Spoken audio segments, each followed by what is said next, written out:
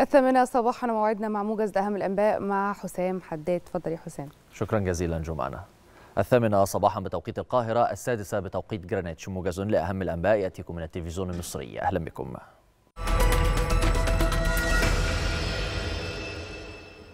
أكد الرئيس عبد الفتاح السيسي أهمية استمرار وتيرة التشاور والتنسيق الدوري والمكثف بين مصر والجزائر حول القضايا الإقليمية محل الاهتمام المشترك. وخلال جلسة مباحثات مع الرئيس الجزائري عبد المجيد تبون ناقش الجانبان سبل تعزيز العلاقات الثنائية بين البلدين على كافة الأصعدة. كما شهدت المباحثات تبادل الرؤى بشأن عدد من القضايا الإقليمية والدولية ذات الاهتمام المشترك. كما تم التأكيد على الشراكة الاستراتيجية بين مصر والجزائر في إطار جهود مكافحة الإرهاب وكافة أشكال الجريمة المنظمة على المستوى الإقليمي. فيما تم التطرق إلى آخر تطورات الملف الليبي كما تم التوافق حول أهمية التوصل إلى اتفاق قانوني عادل ومتوازن وملزم حول ملء وتشغيل السد بما يحقق مصالح الدول الثلاث ويحافظ على الاستقرار الإقليمي.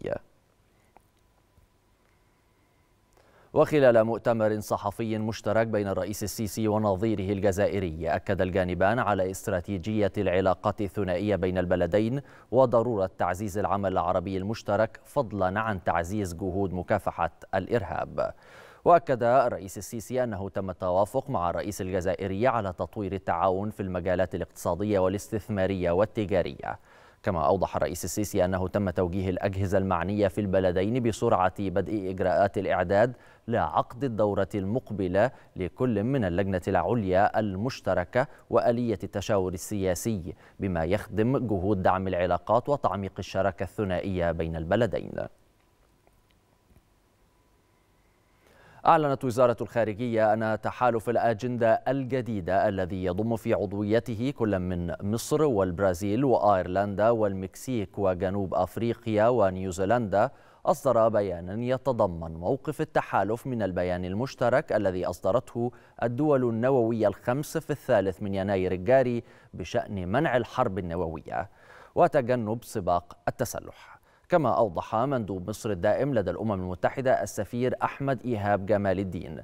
أن دول التحالف أعربت في بيانها عن قلقها من مواصلة الدول النووية تحديث ترسانتها النووية بما لا يتسق مع التزامات هذه الدول ذات الصلة بنزع سلاحها النووي. أخذا في الاعتبار أن استمرار حيازة هذه الأسلحة يمثل مصدر تهديد واضح للإنسانية. وجهت وزيرة الدولة للهجرة نبيلة مكرم التهنئة إلى الطبيب المصري الأسترالي الشاب دانيال نور لاختياره شخصية العام على مستوى قارة أستراليا في فئة الشباب. وعبرت وزيرة الهجرة عن فخرها بما قدمه دانيال نور من خدمات إنسانية للمرضى والمهمشين في العديد من المناطق خلال جائحة كورونا وشكرت على حرصه على الدعم النفسي والطبي لهؤلاء المرضى.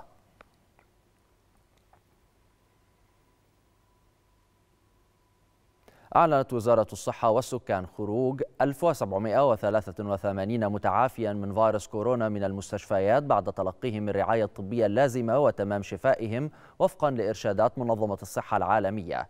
ليرتفع إجمالي المتعافين من الفيروس إلى 347557 حالة وأعلنت الصحة تسجيل 1809 حالات إيجابية جديدة و35 حالة وفاة.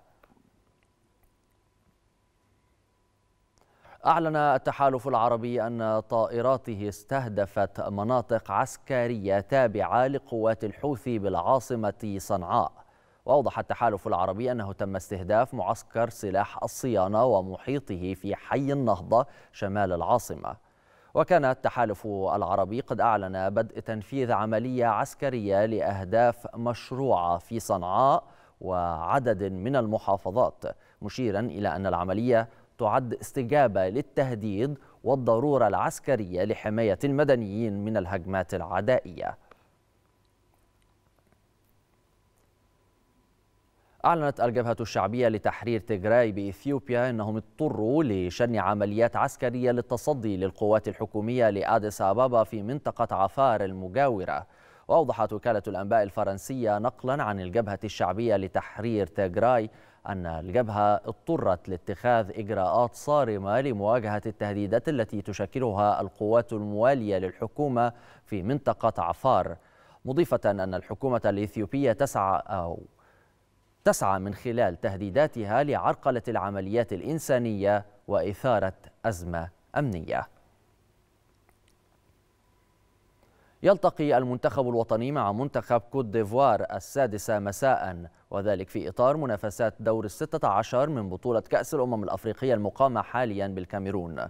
يدخل منتخب الفراعنة اللقاء بعدما احتل المركز الثاني في المجموعة الرابعة برصيد ست نقاط حيث تغلب على كل من غينيا بيساو بهدف نظيف والسودان بالنتيجة ذاتها بينما تلقى الخسارة في أول مبارياته أمام نيجيريا بهدف دون رد ختام موجز الثامنة وعودة لاستكمال باقي فقرات برنامج صباح الخير يا مصر بعد هذا الفاصل.